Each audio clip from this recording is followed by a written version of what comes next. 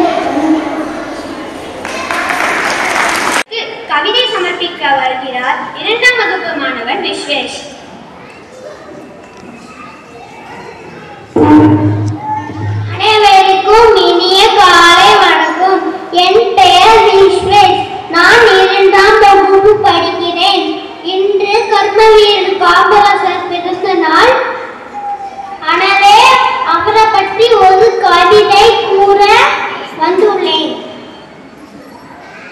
படிக்கிறார்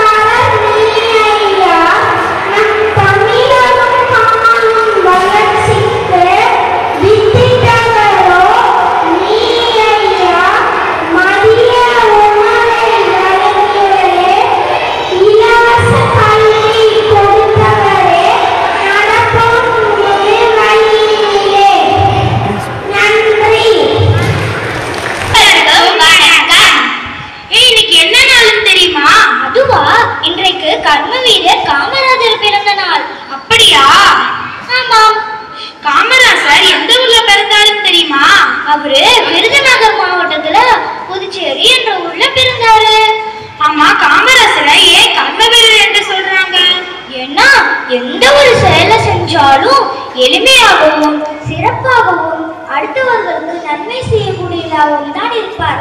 அது மட்டுமல்ல இவருடைய தோற்றமும் எளிமைதான். உங்க வீட்டுக்கு விருந்தினர் யாராவது வந்தால் எப்படி வரவேற்ப?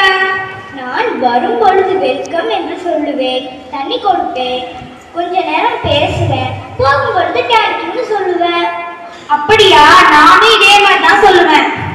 ஓ சரி சரி. அம்மா காமர் பேசுவேன். போகும்போது டேடின்னு சொல்லுவேன். அப்படியா? நானும் இதே மாதிரி தான் சொல்லுவேன். ஓ சரி சரி. அம்மா காமராசர் விடுதலை போராட்டத்தில் ஈடுபட்டாராமே உண்மையா? ஆமா தீண்டாமை ஒழிப்பு போராட்டம் கள்ளுக்கடை மறியல் ஒத்துழையாமை முதலிய முதலிய பல போராட்டத்தில் கலந்து கொண்டார் ஒன்பது முறை சிறை சென்றார். சிறையில் ஏறதாழ மூவாயிரம் இருந்தார். அப்படியா? ஆமாம். ஆமாம். காமராசர் என் முதலமைச்சராக ஆன பிறகு என்னென்ன திட்டங்களை கொண்டு வந்தாரு? பள்ளி மாணவர்களின் ஏழை பணக்காரன் வேறுபாடு கலைய பள்ளி மாணவர்களின் ஏழை பணக்காரன் வேறுபாடு கலைய பள்ளி சீருடை திட்டத்தை கொண்டு வந்தார். திட்டத்தை சிற்றூர் தோறும் பள்ளிகள் தொடக்க ஆணையிட்டார். அது மட்டும் இல்ல வேளாண்மை தொழில் வளர என்னென்ன அணைக்கட்டுகளை உருவாக்கினார்?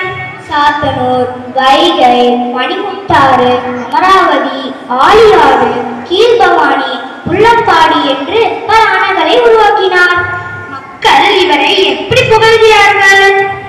படிக்காத மேதை பெருந்தலைவர் ஏழை பங்காளர் கர்ம வீரர் என்றெல்லாம் புகழ்கிறார்கள். இவ்வளவு நல்ல செயல்களை செய்து நமக்கெல்லாம் வாழ்வில் ஒளிதீரம் ஏற்றி வைத்த அந்த மகான் வழியில் நாமும் நடப்போமாக